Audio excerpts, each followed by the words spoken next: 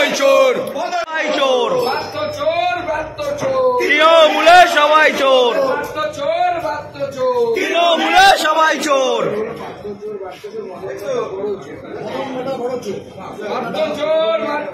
তৃণমূলে সবাই চোর। চোর তৃণমূলে সবাই চোর। চোর। পিসি চোর ভাইপো চোর। তৃণমূলে সবাই চোর চোর সবাই চোর প্রিয় দর্শক আমি শফিকুল ইসলাম এবং আপনারা দেখছেন আরামবাগ টিভি দর্শক। পুলিশ চোর ধরতে পারে না কিন্তু যারা চোর ধরার জন্য মুভমেন্ট করছেন আন্দোলন করছেন তাদেরকে একেবারে ধরে নিয়ে সোজা লালবাজার। আজকে এটা ঘটেছে যখন বিজেপি রাজ্য সভাপতি ডক্টর সুকান্ত মজুমদার যখন একটা কর্মসূচিতে অংশ নিচ্ছিলেন পোস্টারিং কর্মসূচি হাজরা এলাকাতে, সেখানে সেই কর্মসূচি শুরু হওয়ার আগেই কার্যত হাইজ্যাক করে বলা যায়, তাকে তুলে নিয়ে লালবাজারে চলে আসে। সঙ্গে আরও অনেককে তুলে নিয়ে আসা হয়, ফলে দর্শক এবং যেটা দেখলাম যে তারা লালবাজারে এলেও, লালবাজারে বসেই তারা কিন্তু সেই স্লোগানটা দিতে থাকেন। নাম ধরে ধরে পার্থ চোর, আর সব কারা কারা চোর বলছিলেন, তৃণমূলের সব চোর বলে তারা কিন্তু কন্টিনিউ স্লোগানও দিয়ে গেছেন। দর্শক যা চলছে আমাদের রাজ্যে, সেটা তো আপনারা দেখছেন। রাজ্যে এক কথায় চোর চোর চোর চোর রব উঠে গেছে। মানে রাজ্যে কান পাতলে কিন্তু চোর চোর চোর চোর স্লোগান। সোশ্যাল মিডিয়াতে নজর রাখবেন, চোর চোর নিয়ে শব্দ আসছে। নানান মিম তৈরি হচ্ছে, নানান মানে মানে মানে কৌতুক তৈরি হচ্ছে বলা যায়। ফান, ফানি ভিডিও তৈরি হচ্ছে। সেখানেও দেখবেন ওই মানে চোর চোর চোর শব্দটা আছেই, আছে। মানে রাজ্যের যা অবস্থা তৈরি হয়েছে একটাই এখন শোনা যাচ্ছে, চোর চোর চোর চোর চোর। এবং চোর ধরার জন্য অনেকে মুভমেন্ট করছে, আন্দোলন করছেন। যে যাকে গ্রেপ্তার করা হয়েছে, পার্থ চ্যাটার্জি, তার বাইরেও আরও অনেকে রয়েছেন, তারাও চুরি করেছেন। বলা হচ্ছে অভিযোগ রয়েছে, তাদেরকেও ধরতে হবে। এসব নিয়ে অনেকে অনেক কথা বলছেন মুভমেন্ট করছেন। দর্শক, কিন্তু জানি না কতজন চোরকে আলটিমেটলি ধরা সম্ভব হবে, কিন্তু যারা চোরকে ধরার জন্য মুভমেন্ট করছেন, তাদেরকে কার্যত কিন্তু ধরে একেবারে লকআপে ঢুকিয়ে দেওয়ার চেষ্টা করছে পুলিশ। তাদের মধ্যে এটা এক- একটা অন্যতম ভিডিও যে আজকে যখন সুকান্ত মজুমদার যখন একটা কর্মসূচিতে যাচ্ছিলেন সেখানে পৌঁছেছিলেন, কিন্তু সেই কর্মসূচি শেষ হওয়ার আগেই বা ঠিকমতো শুরু হওয়ার আগেই একেবারে তাদেরকে তুলে সোজা লালবাজার, লালবাজারে একেবারে অনেকক্ষণ কয়েক ঘণ্টা সেখানে বসে রাখা হয়। কিন্তু দর্শক সুকান্ত মজুমদার তারা যে সেখানে একবার চুপচাপ বসেই ছিল সেটা বলা যাবে না। তারা কিন্তু সেখানে বসেই চোর চোর চোর চোর, পার্থ চোর কুণাল চোর আর সব কী সব নাম বলছিলেন দর্শক? আমি মনে করতে পারছি না। তৃণমূলের সব চোর এই কথা বলে তারা কিন্তু কন্টিনিউ সেখানে স্লোগান দিয়ে গেছেন। দর্শক, সত্যি আমি জানি না এই রকম মানে এইরকম পরিস্থিতি এই রাজ্যের মানুষ এর আগে কখনো দেখেছেন কিনা যে এইভাবে গোটা রাজ্য জুড়ে চোর চোর চোর চোর স্লোগান তৈরি হয়ে যাবে। দর্শক, এর পাশাপাশি আমি আরেকটা বিষয় দেখছি, সোশ্যাল মিডিয়াতে ভাইরাল করা হচ্ছে এটা। বাংলার লজ্জা মমতা। এটা আবার টুইট করেছেন বিজেপি নেতা অমিত মালব্য। তিনি একটা লেখা লিখেছেন, লিখে এটা আবার টুইট করেছেন। আমি এটাও দেখছিলাম সোশ্যাল মিডিয়াতে মানে আরও অনেকে শেয়ার করছেন, পোস্ট করছেন। দর্শক, এখন যেটা বলা হচ্ছে যে বাংলা লজ্জা মমতা, আপনারা কি সেটাই মনে করেন? আমরা তো যেটা দেখতাম, বাংলার গর্ব মমতা এটা বলে প্রচার হতো, টিএমসি প্রচার করতো। তো এখন তো দেখছি লেখাটা কিন্তু ওই স্টাইলই রয়েছে, এরকম গোল করে, রাউন্ড করে, মাঝখানে মমতা বন্দ্যোপাধ্যায়ের মুখ। কিন্তু ওই গর্ব শব্দটা নেই, এখন সেটা পাল্টে গিয়ে হয়ে গেছে লজ্জা, বাংলার লজ্জা মমতা।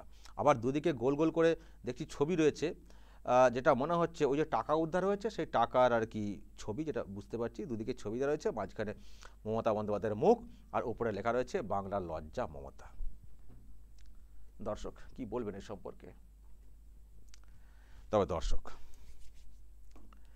আমি জানি না কে কতটা লজ্জা পাচ্ছেন এবং মুখ্যমন্ত্রীও কোথাও কোনো লজ্জা পাচ্ছেন কি না, তবে এটুকু বলতে পারি যে আমি অন্তত খুবই লজ্জা পাচ্ছি, যা দেখছি বাংলাতে।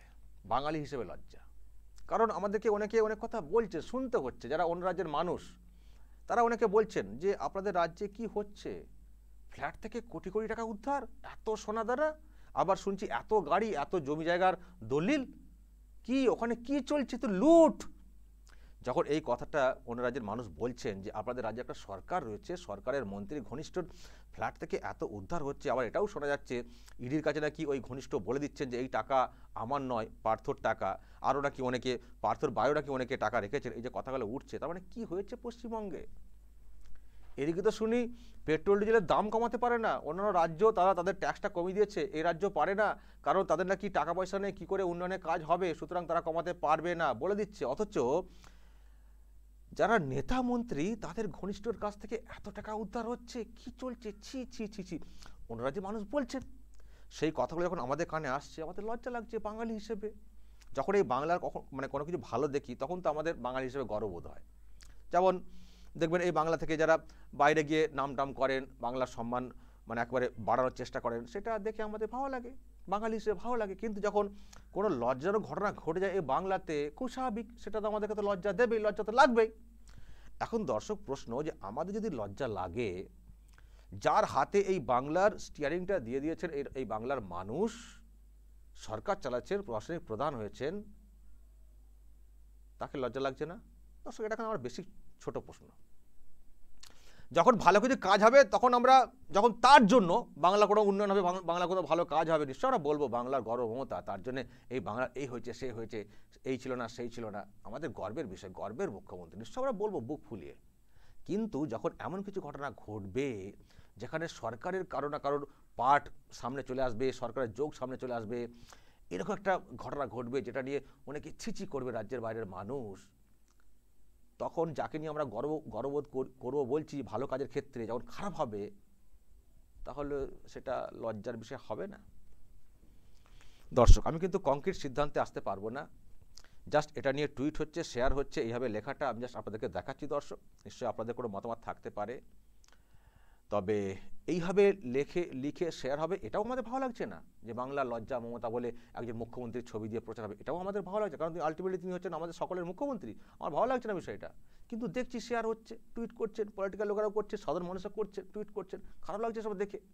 আবার আবার এই যে দুদিকে টাকার ছবি দিয়ে দেওয়া হয়েছে, আমি জানি না, এটা যদি দেখেন মুখ্যমন্ত্রী তিনি কতটা রেগে যাবেন, কীভাবে কি রিয়াক্ট করবেন, আমি বলতে পারছি না। কারণ আমি কদিন আগে দেখছিলাম একটা প্রোগ্রামে তিনি বলছিলেন যে কার বাড়ি থেকে টাকা উদ্ধার হয়েছে একটা মহিলা গঠিত ব্যাপার, আর সেই টাকার ছবি দিয়ে, আমার ছবি দিয়ে আমার নামে প্রচার হচ্ছে? মানে সিপিএম, বিজেপি তার দিকে তোপটা দেখেছিলেন। বলেছিলেন যে, আমি যদি রাজনীতি না করতাম, আমি কানটা কেটে ফেলতে পারতাম। বলেছিলেন। আবার বলেছিলেন যে, আমার কাছেও আলকাতরা রয়েছে। ফলে দর্শক, আমি জানি না যে টাকার ছবি দিয়ে আছে দুদিকে, যেটা মনে হচ্ছে দেখে, ছোটো ছোটো ছোটো ছোটো যদিও, দেখে মনে হচ্ছে টাকারই ছবি, উদ্ধারের ছবি। আর একবার তার ছবি দিয়ে উপরে লেখা আছে বাংলা লজ্জা মমতা। এটা দেখলে যদি তার নজরে পড়ে তিনি যে কি করবেন আমি জানি না। আবার আমাদের আমাদের উপর রেগে যাবেন কিনা কে জানে? আপনারা এবার কেন শেয়ার করছেন, দেখাচ্ছেন? রাখলে রাখবেন, আমার কি করার আছে? সবাই শেয়ার করছেন দেখাচ্ছেন টুইট করছেন, তো আমরাও দেখাবো না। রাখবেন রাখবেন, কি আর করার আছে? আসলে আমি আবারও বলছি, আমরা কিন্তু এটা দেখতে চাই না। আমাদের ভালো লাগছে না যে মুখ্যমন্ত্রীর ছবি আছে, হাসি মুখে মুখ্যমন্ত্রী, আর উপরে লেখা আছে বাংলা লজ্জা মমতা, দুদিকে টাকার ছবি। এটা আমাদেরও ভালো লাগছে না দেখতে। এটা নিয়ে রাজনীতির অন্য দলের নেতাগুলো, তারাও বেশ মজা পাচ্ছেন, নিচ্ছেন। এগুলো আমাদের ভালো লাগছে না। আলটিমেটলি তিনি মুখ্যমন্ত্রী, সবার মুখ্যমন্ত্রী।